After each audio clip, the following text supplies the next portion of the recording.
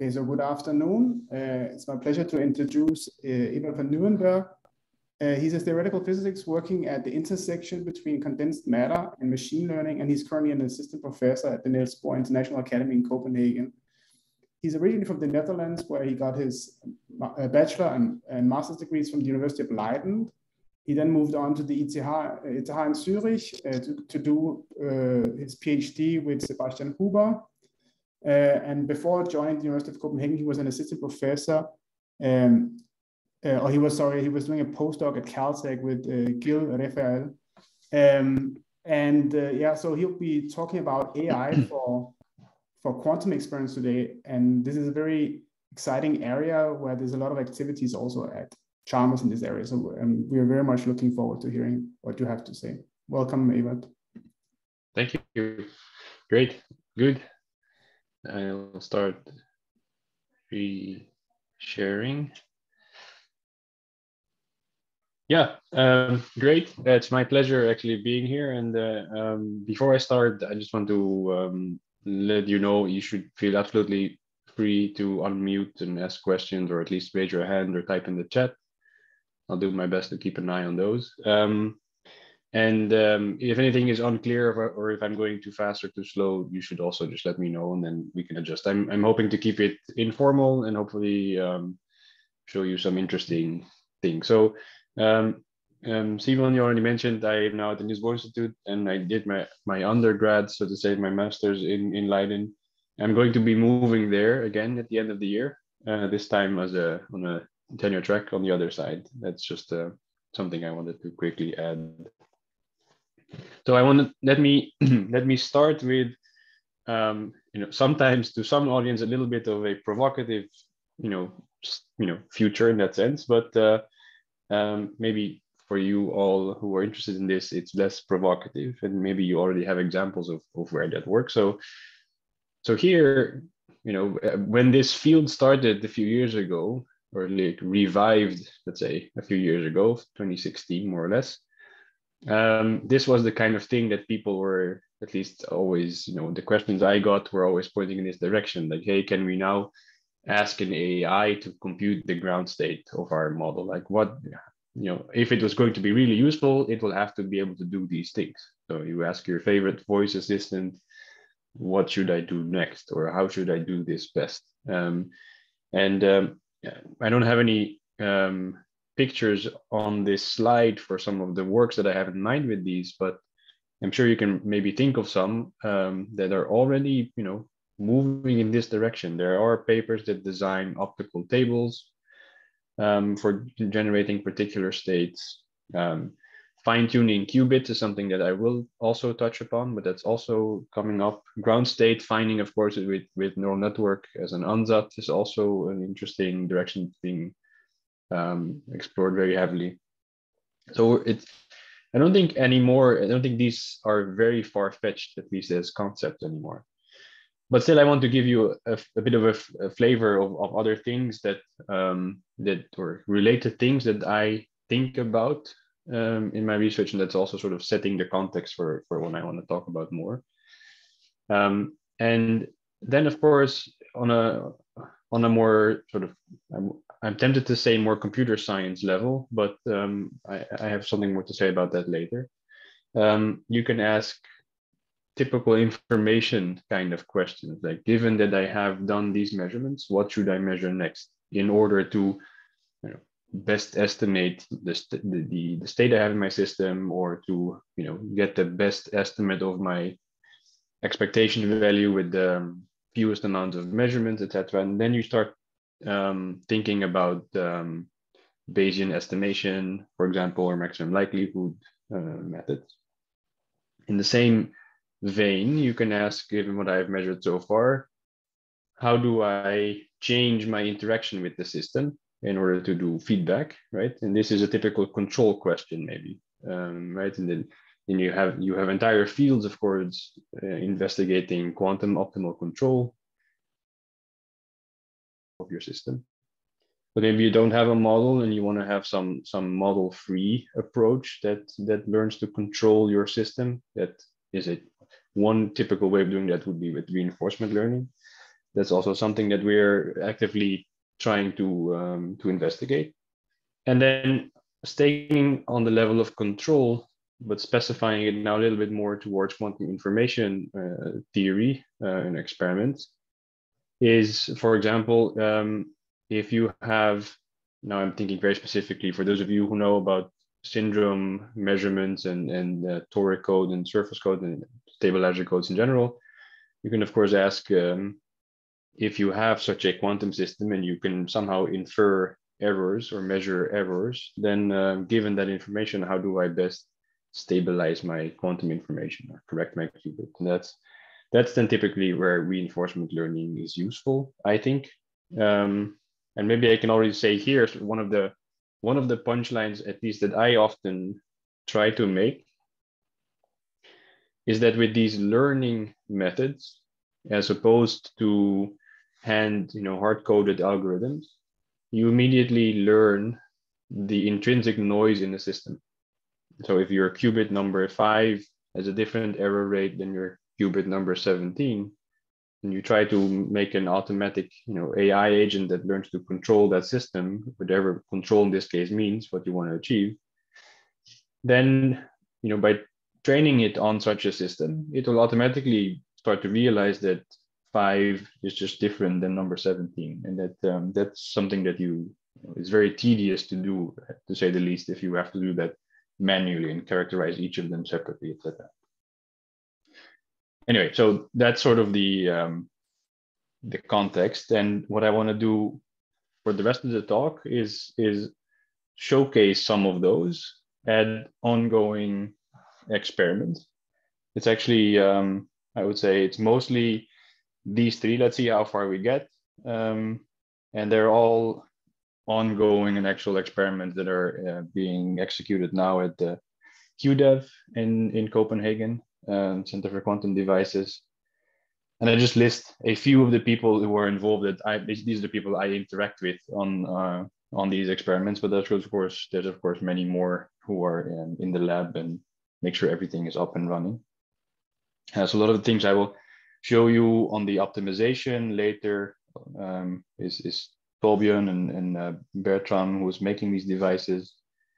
Um, and then um, Oswin will be relevant for the, uh, the quantum dot tuning. Oswin is a computer scientist um, who was really, you know, trained and an expert at the optimization algorithms in this case.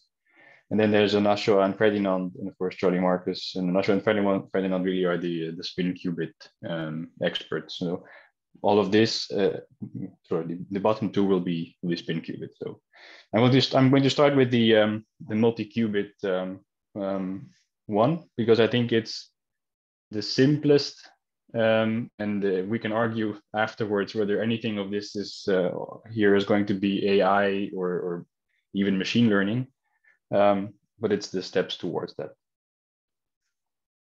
Good. Um, I do want to. I don't want to go into too much detail about how these devices and spin qubits, etc., work, because that's not really the point. Um, um, but it's, I think it's important for context, especially because some of the other things I talk about also um, will rely on it. But so don't focus too much on following along exactly with the physics here. Um, if you if you don't want to follow along at all along at all, the statement is that this this device gives you a qubit, gives you a, a zero and a one state that you can manipulate. But still, for those of you who do want to know, this is what such a um, a chip device like a device would look like, and what you would see, it's it's a repeating pattern. It's these four like the four corners are this are, are copies of each other, and so there's four qubits on this device. And we're going to be using, for now, only one, the top left one. And so what you see is these uh, orange, orange dots, these islands. Um, those are quantum dots, and those can host discrete numbers of electrons. Um, so they, um, you know, they can be zero on either, or one on the left and, and two on the right, and etc. Those are the numbers you see here. We'll come back to that in a second and then um, and then there's this uh, this white square and a, and a black square here. Forget about the blue dot for now.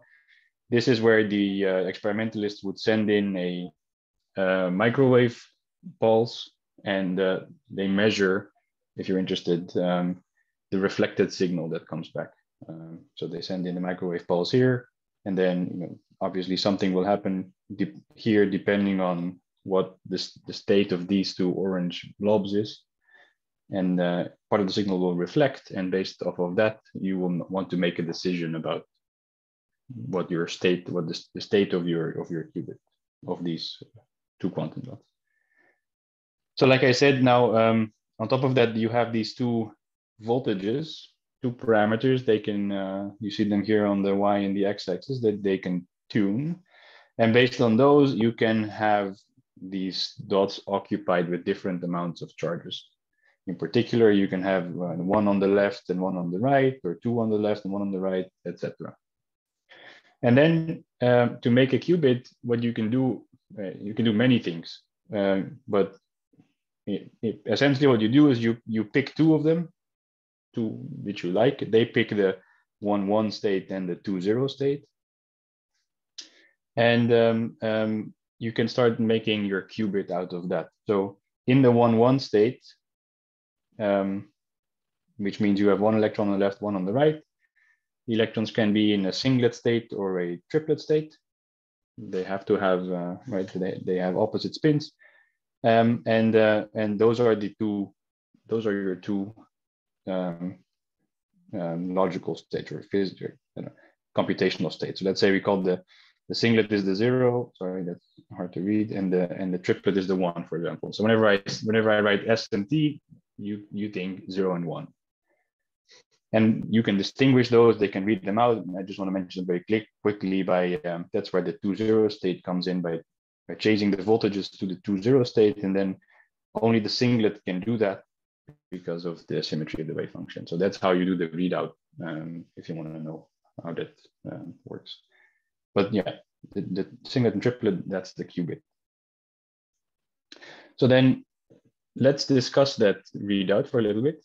Um, because depending on whether your state was in the singlet or the triplet, um, so whether it was a, a zero or a one, that readout signal you get, again, this is now what they're measuring the, the amplitude, the voltage here,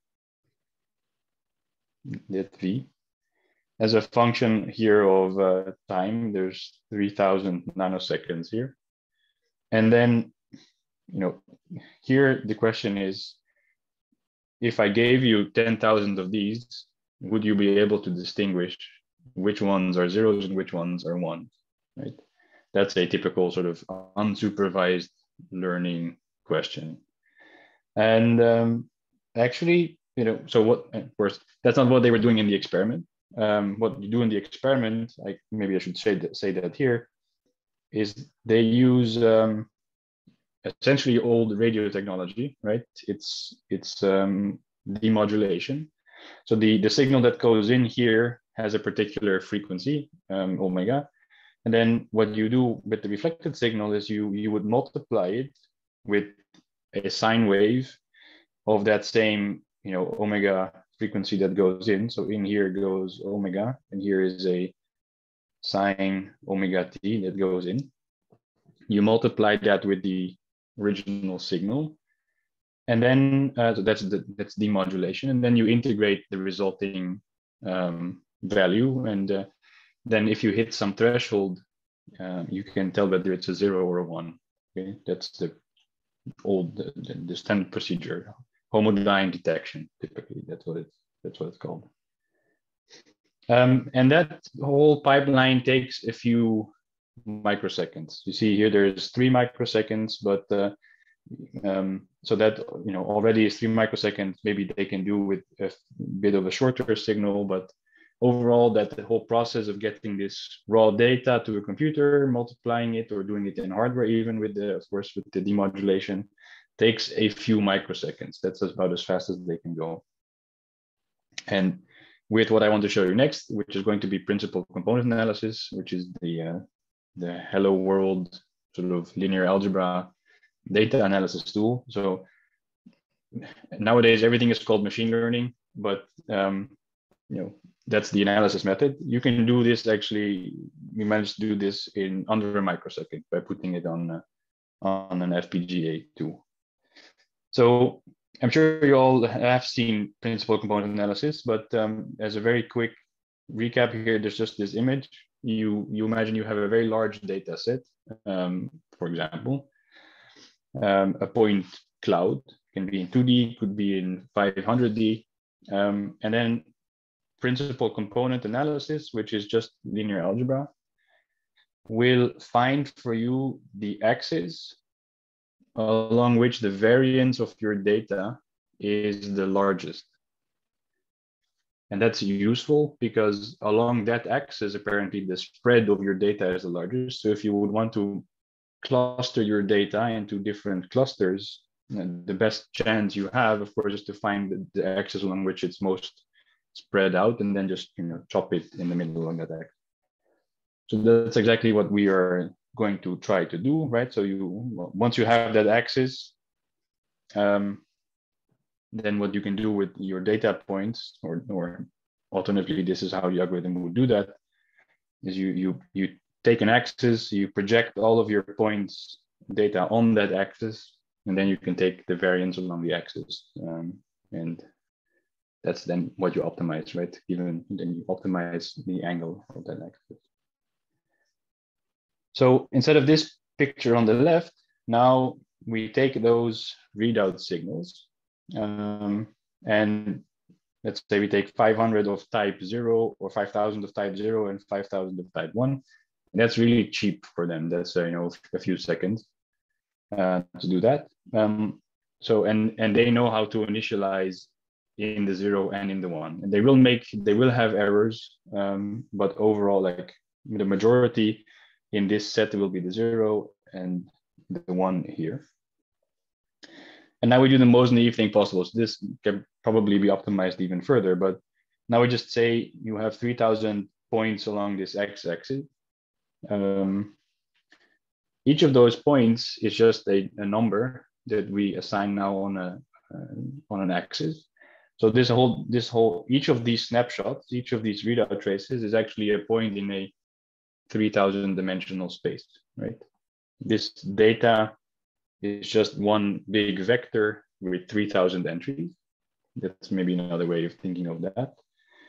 Uh, so now we have a, you know, 3000 dimensional data set with 10,000 points in it, 5,000 from, from each. And, you know, we do principal component analysis. You find, you ask what is the axis along which they are separated. And it turns out um, if you if you find that axis, which is this one shown here, this on the x-axis, and you project in all, all of your samples onto that axis, you find indeed that they cluster on the left of the axis and on, on the right of the of the zero of the axis. Okay, and of course you can also see how they're how they're distributed uh, within each of those blobs you get, but but here you, you exactly get the zeros and here you get the you get the ones now you may wonder how what is it you know how does it work? Why? Um, and uh, and the answer is it turns out it's really actually doing this this demodulation because um, you can take now that axis in these uh, 3000 dimensional space the principal component vector that would be this one um, and uh, and what you're doing with these data sets is you're these data points you're projecting it onto that axis, right? So you're just taking the dot product between the two. And um, if you take this axis and look at its frequency components, then you see it has two very strong frequency components exactly at the frequency, at that same omega frequency that, um, can I still go back there? Yeah, at exactly that same this frequency that you use to um, um, you know read out your signal. So that's exactly here that same red omega. And so if this if this uh, PCA vector was just purely that, like uh, two two delta peaks at those frequencies, uh, it, then it would taking the dot product would exactly be multiplying with the sine wave, right, and integrating. So that's it's it's really you know it's doing it's essentially doing the the um, the, the homodyne detection except um, that it has a whole bunch of extra stuff that looks like noise.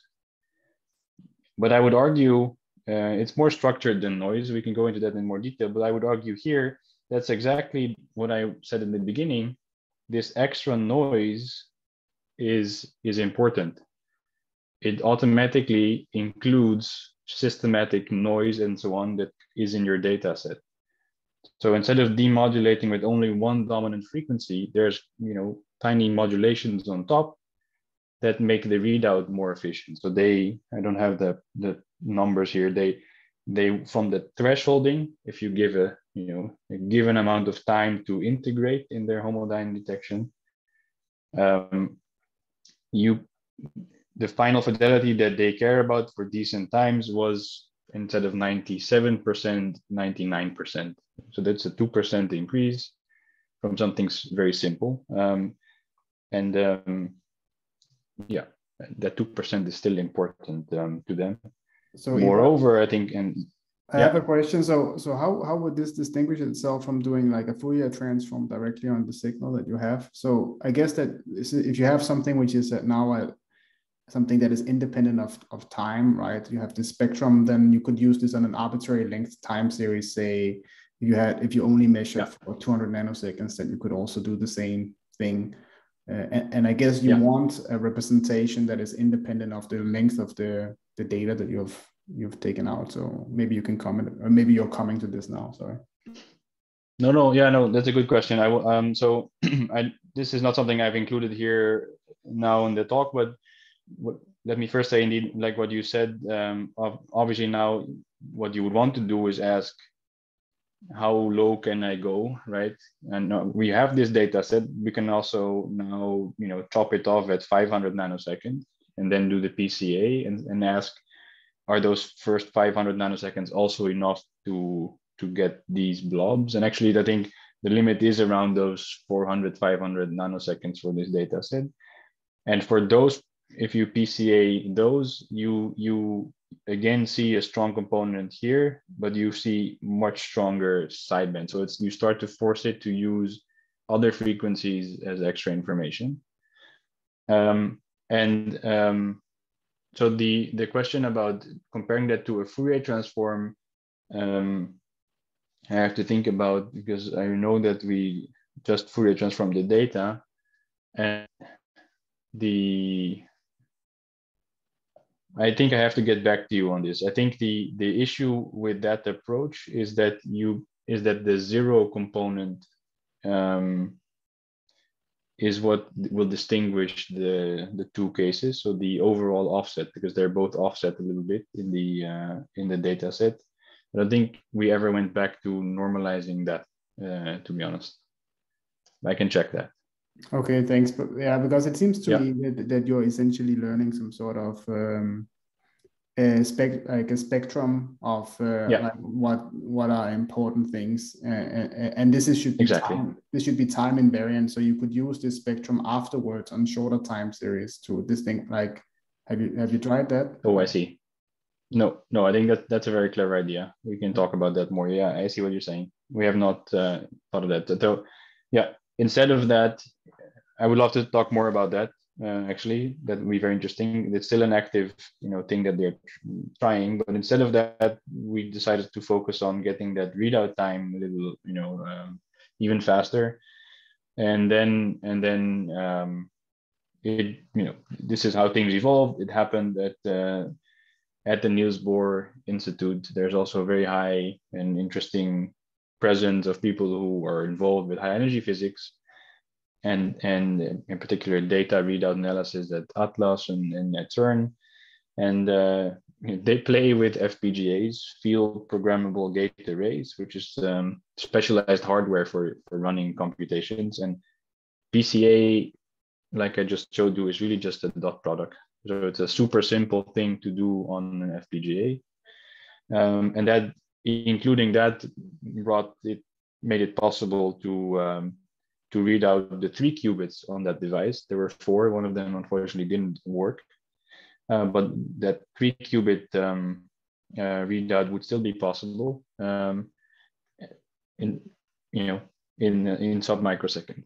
Um, so now you just have um, three three data streams coming in, one for each of the qubits, and uh, you do you do the dot product for each of them, and that can all be done in parallel. So adding more qubits uh, in that uh, on that FPGA sort of chip in that sense, or it's just adding more signals, but they can all be done in parallel. So um, so there's no overhead for for classifying more qubits. So here you can see I should I should have said that maybe more explicitly.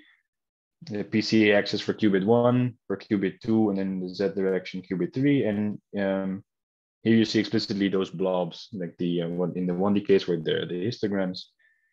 Here you get eight, eight, uh, eight nice blobs for all of the eight possible um, states that three qubits can have.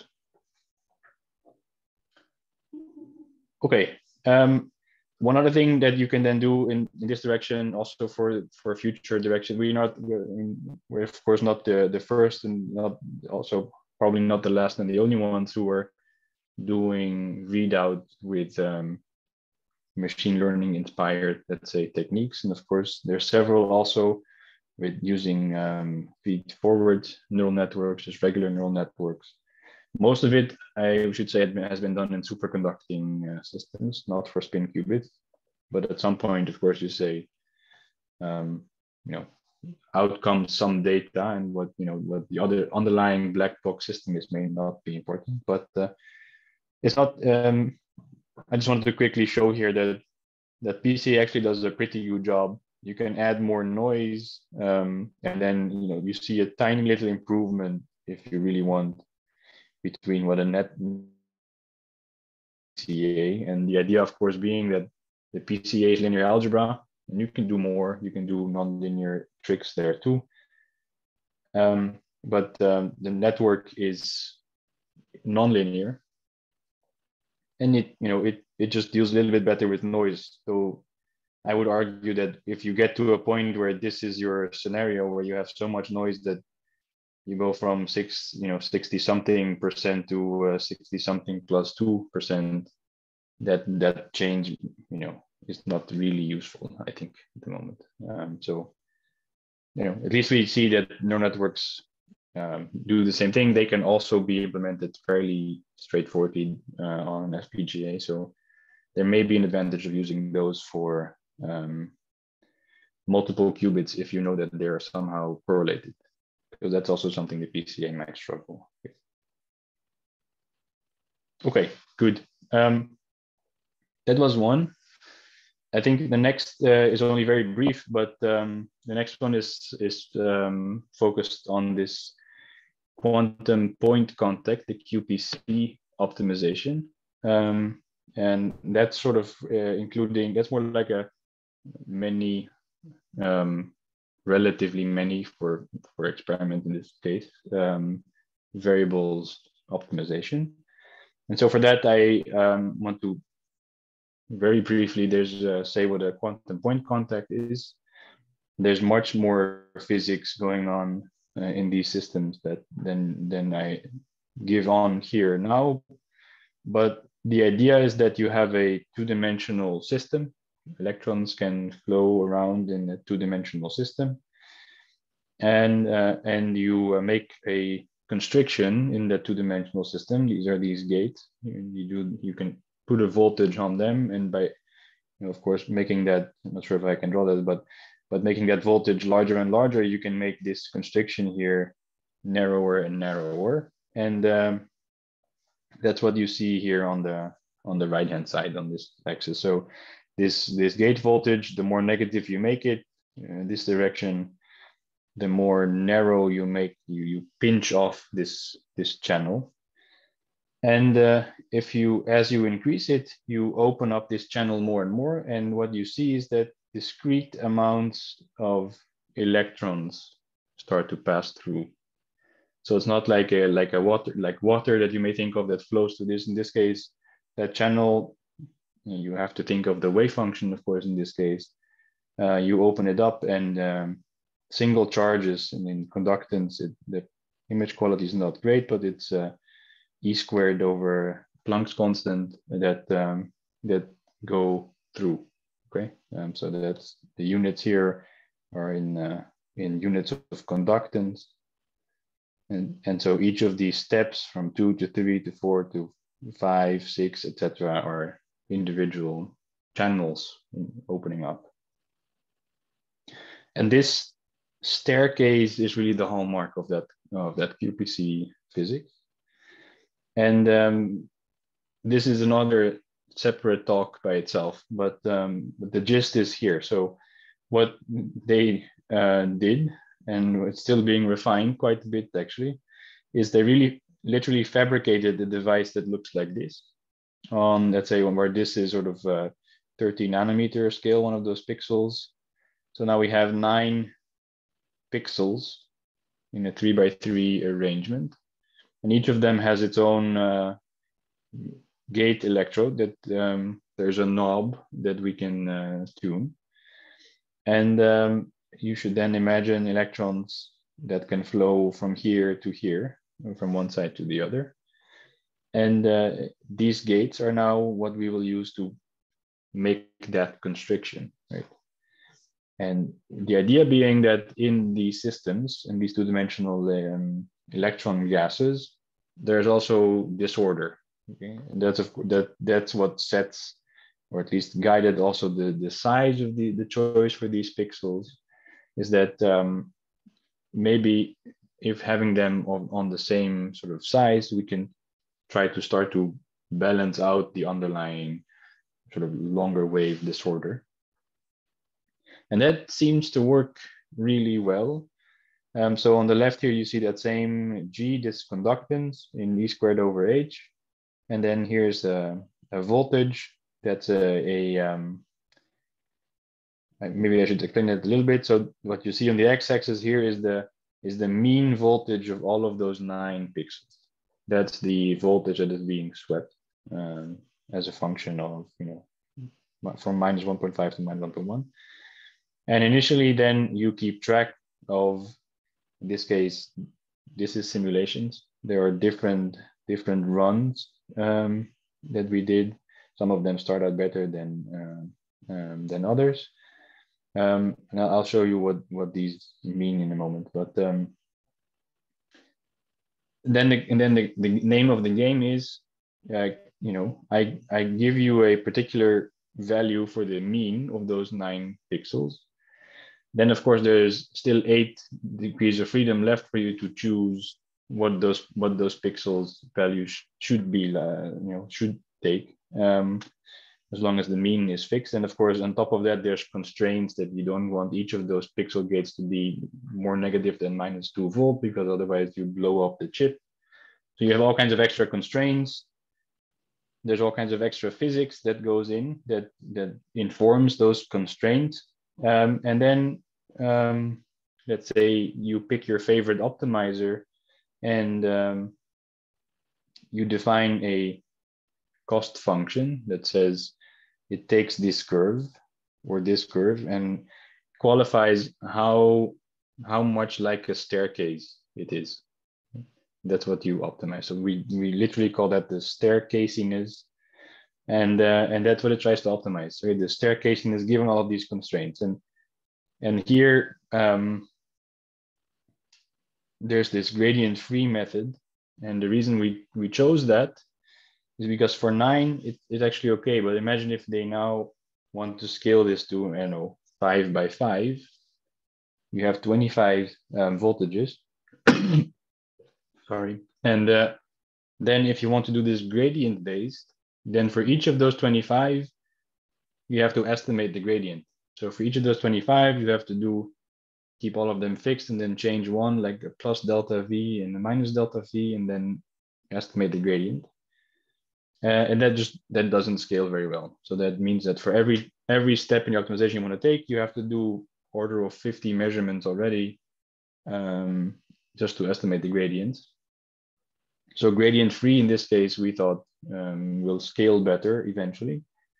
Um, and it um, the way it does that, there's many different ones. We're using this covariance matrix adaptation, evolutionary strategy. You don't have to remember all of that. The idea is, is that in, you start with a population or a, a, a whole set of initial uh, solution. So each of those points in this example represents a choice of the nine voltages. And they all obey the constraint already that the mean of those is, is the same. So it should be a nine dimensional space. I'm just doing an example here for two dimensions. And then um, without going into too much detail, what this algorithm will do is it will update each of those members in the population based on you know the covariance of that whole set and it will slowly you know in this case from here to here that covariance increases quite a lot in uh, in that direction towards the minimum and eventually that's a way for this algorithm to sort of find and uh, and shrink and wrap around or wrap inside that uh, that optimum uh, here. Of course, this is also a, a very simple landscape, um, which in in for the in real life is probably not that simple, but this is the idea of the algorithm, and that's why uh, in these previous plots you saw those different curves. They they they belonged to different members of this population. Um, and then um, I think something went wrong here um, with the version of my slides, but that's okay. So the um, you you have to then of course think about this staircase in this metric that's what defines this landscape right the, the best staircase should sit uh, at this uh, minimum um, and there's many ways of doing that. We can we tried many different things. You can of course think of making like a, a histogram of this picture here on the right. You can like like a density of states right? You can say uh, can you how many states are there that are sort of flat right? And then you can you can uh, assess the quality of that histogram, right? So the here just uh, I'm just counting how many states there are at a given uh, at a given conductance, and then of course you get peaks where the where there are plateaus, like you would expect from band structure, the same thing. Um, um, so yeah, you can also just think about taking a derivative, of course, right? If it, if you have very steep derivatives and then very flat regions, you can also make a staircasiness metric out of those. We found that some work better than others, but not drastically, uh, just to say. Um, yeah, okay, something like something is a little missing here because now it jumps to the next topic. I just wanted to say that the closing things on this. So this this sort of is now on the level of um, optimizing um, some uh, optimizing experiments with many variables and um, it proved very useful here because these devices uh, these devices were on fabricated on on on wafers on chips that really weren't the best uh, if i understood correctly from the experimentalists. And still um, this is not the best um, picture we have. And this is also on simulation. This was actually done on actual experiments. And they get they get very nice staircases, very good QPCs, even on, on those wafers they would have otherwise not um, used there. So um, yeah, more more is being developed, um, and um, it it helps you breathe live into other into older samples, for example, uh, and without having to tune all of that yourself. And that that last statement, um, we're at 45 minutes more or less. Um, that last statement is also um, what I wanted to talk about for the third and final example, which is um, once this is what is happening now, people are making larger and larger quantum dot arrays. So this example you saw before, you have these two quantum dots. So let's say double dot system, um, which had this, um, this is now simulated, this um, charge, um, charge stability diagram, which just tells you as a function of those two voltages, again, on the, uh, on the X and Y axis, what are the charges on those two dots. Okay, so if you at zero and zero volt, they're zero and zero electrons respectively on those two dots. But then as you tune one, you start populating one of them with more and more electrons. Okay, so that's all nice for two dots, um, but now people are making four by four maybe at some point. I think now um, that's that's doable, um, but already for something like eight or or six, like a two by three device, getting to a point in your experiment where you can actually make such a diagram is not trivial. Because you now have to simultaneously find so you know i'm just having arbitrary numbers axes uh, here but tuning your those six voltages into a regime where you where you have this stability charge stability diagram um, is not easy. And is a task that can take um, sorry a month or so for a PhD student to sort of for that one sample optimize all of that. And um, you don't have an easy way of visualizing it either in higher dimensions. In three dimensions, you know, these these become three-dimensional polytopes. Like it's a bit hard to see here, but now you have three axes, uh, V1, V2, and V3 into the page. And, uh, and now this thing is a three-dimensional object. And you would want to know as an experimentalist um, if you want to then use these as, as dots, for example, and now maybe if you have larger arrays, you can define multiple qubits. How do I, like in what combination, what linear combination of voltages do I have to tune to move across a particular transition? So here it's, it's fairly simple. I mean, if you want to move from here maybe I should do a lighter color from here to here. Well, then, you know, then you can just tune this axis. But um, if you want to do this particular transition from the, or, or, or this one, which one, which is the one we discussed before,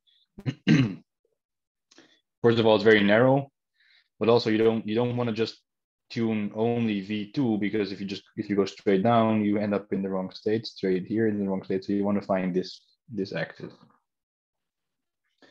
And um, the problem then becomes one of finding these polytopes, right? It's a, computationally speaking, it's a polytope fitting problem um, because these objects, Coulomb diamonds, right? Uh, they're in they're just high dimensional polytopes. Um, and so turning this into a machine learning problem, um, I'll speed up a little bit, but the idea I think is very straightforward and very clever is to do this instead of doing these raster based scans that you say I fix all my voltages except for two and then I make like a, a scan, then you get sort of a cut through your high dimensional space. You start shooting rays. So you pick a particular direction in voltage space along which you evaluate your sensor data and then you record the points where that sensor data um, indicates a step. And then that, at that point, you know that you hit a, you, you changed the transition. You, you the transition. And whenever you see that, you record a blue dot and a red dot. Blue is just before the transition and right and red is right after that change in signal.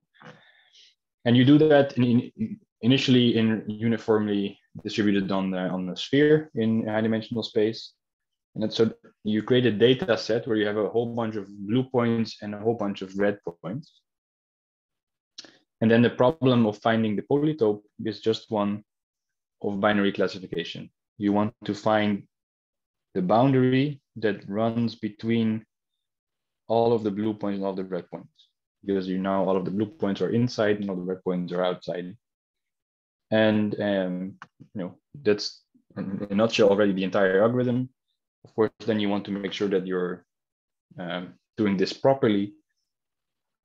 So given that you have an idea of those boundaries, you can then start to verify or falsify them. You can say if the boundary is really here, then if I shoot a ray in that direction, I should find again a red and a blue point and um, and that's what you can then iterate until you have until you're satisfied until you think now now i really believe that this facet of my polytope is there and you set some precision, of course. Uh, again, also here, there's much more that goes on behind it. But you can see in the 2D case, for example, um, this is a 2D cut through a 3D uh, space diagram. Maybe hard to see the blue dots, but you see there's a whole bunch of dots on these facets that um, that the algorithm then would find to determine this polytope.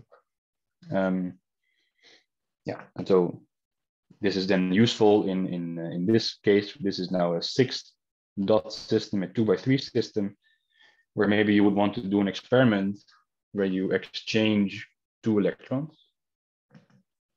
So you would have an electron sitting here first and, and here. That's what's indicated here by the one and one and zero and all the others. And then what you do is you um, you you move this electron up and to the right. That's what you see here. It moves up and then it moves to the right. So you park it. Then you move the, the red one down. Then uh, this one moves down. That's what you see here moves down, here moves down, and then you unpark the blue one. That's a that's a sequence you would use in the experiment to do this electron exchange.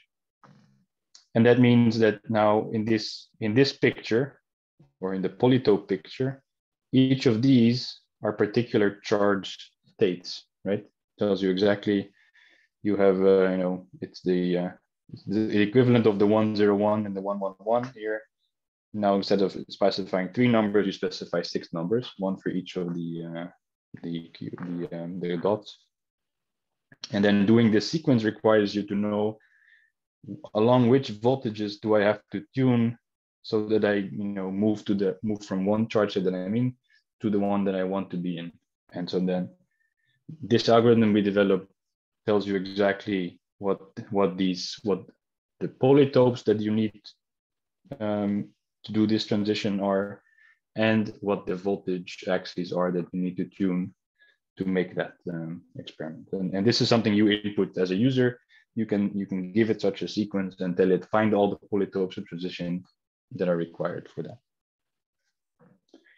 Um, yeah, so I talked about polytopes a lot. Now this how we do that then is is um, actually um, maybe very quickly straightforward, uh, I hope. So a polytope, uh, so this, let's say if we, if this yellow thing is the polytope rafter, in this case, it's just 2D, you specify a polytope by um, so-called half planes. We just, you specify a normal vector and an offset from the origin. Um, and if the normal vector is one, one, it's this vector, of course. And then the offset is one that this is the origin. So then that it defines this plane this line. And uh, if you say everything that's above that then you get this orange region. So you the um, the polytope is defined by a set of inequalities basically saying everything that it's not part of. Um, and uh, therefore it's defined by this set of a the normal vectors and the offsets and that's what the model is about. So the model that we have is just a, a model for a polytope. Um, instead of it being um, perfectly sharp, doing this uh, logarithm of sum of exponentials, you can you can uh, fudge a little. You can make it less sharp, uh, which is easier for fitting and for learning with maximum likelihood that's more technical. Suffice to say that the algorithm very successfully finds polytopes in high dimensional spaces.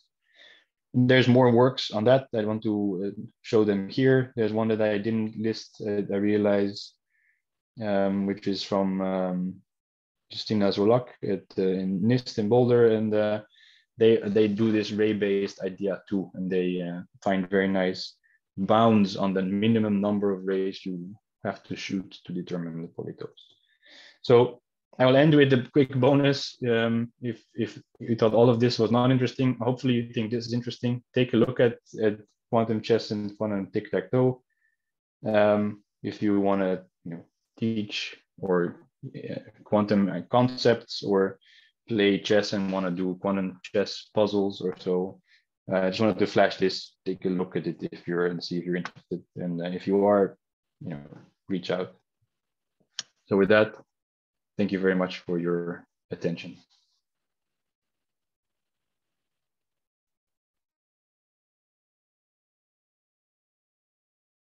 Thank you, Evert, for a very nice and interesting uh, presentation, a very broad set of topics.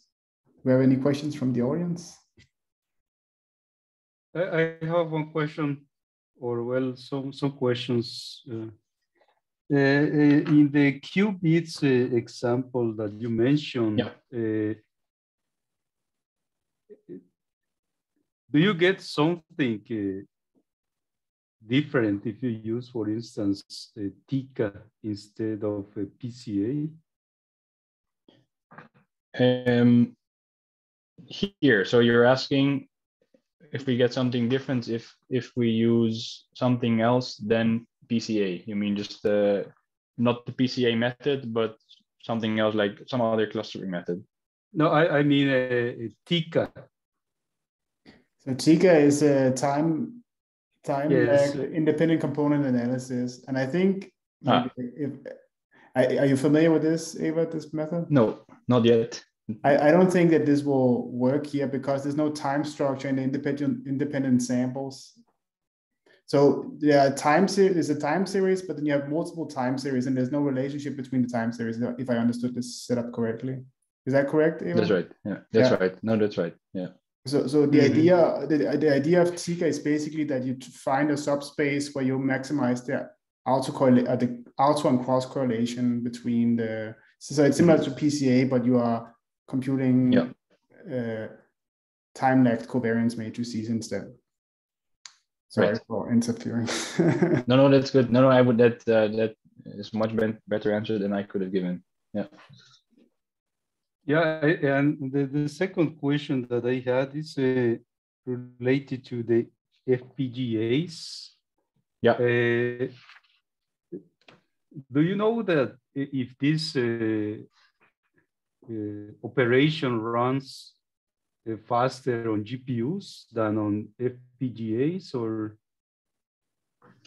Um, I short answer is I don't know. This would be maybe a question that I can pose or forward to you to the uh, the one who actually implemented the FPGA.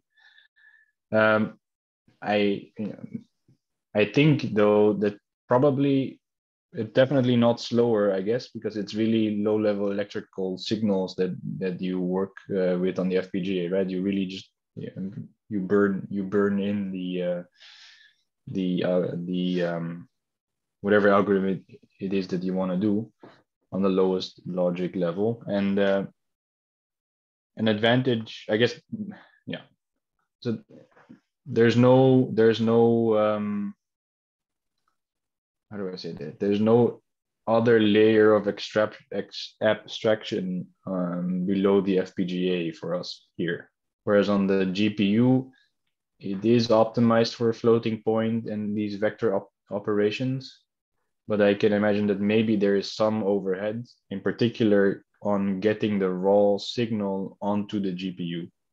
And here we don't have that. It's the raw signal is fed directly into the FPGA. Maybe there's others here who have more experience with that than I do. Um, but yeah, um, this plus the parallel inputs. I think I think the FPGA for this particular sort of specialized direct application will win out on the GPU by a little bit. But I, I wouldn't put my hand into the fire for that statement. Then we would really have to talk to an FPGA expert. Okay, thank you. Yeah, sure. So I had a question regarding this this staircasiness. I didn't quite understand what you converged on, what kind of loss function or objective function you converged at. Uh-huh. So what? Yeah. So uh, it's a yeah, pretty technical yeah. question, I suppose, but yeah, I think uh, so. That unfortunately, that part of something went wrong. I apologize for that with the slides. That there's that something is missing. There was more on that. So the the um, what you can think of, for example, um, I think what we started with as a loss as a cost function is well. So the cost function should measure how staircasiness a curve is, right? And so the um, what we thought that we would do initially is we would um, we would basically want to check how flat are these are these regions and then of course you want to you want to do like a derivative right? The, like a dg dv. Um, and the you know the, the lower that is the better in this case. Um, and you then you can do something a little more, more clever because you have these step regions and um, maybe it's okay if they're not perfectly sharp. So then you can you can start playing around with sort of powers here making maybe a square root or so the the issue with that um, and it's a measure of do you want to optimize or minimize this of course but the question with this derivative or the problem sorry with this derivative approach is that you minimize this perfectly by also just staying uh, flat at the at the bottom so right? Then then the derivative is everywhere zero, and, uh, and that's the lowest you can go. Um, so that was not very useful because that's exactly then what the what the system was finding. It's just pinching off the entire channel. Um, and then of course you can start to, you know, then you realize quickly that if you start to penalize it, to penalize it for for being at zero, um, that also doesn't work because then it just starts making a very large plateau at one, for example. Um, so what we are currently doing is is this histogram approach, where you you take this you take your curve your staircase curve and you you do like a density of states you you squash it against the uh, the the wall and you when you have um, you have all these measurement points here right so the histogram is just it just counts how many are there here right? And how many are there at different values of, of conductance? Um, and uh, and you get you get these histogram, and then you can uh, you can ask you know about the width of these histograms. The narrower they are, the better. Of course, the more the flatter they are, the higher they are, the better. So the metric is now fully based on that. But um, yeah, yeah. Okay. Does that help? Yeah, that that that explained it better. Uh, I think you explained, but I didn't quite get this detail. Thank, thanks a lot. I think. Sure. Uh,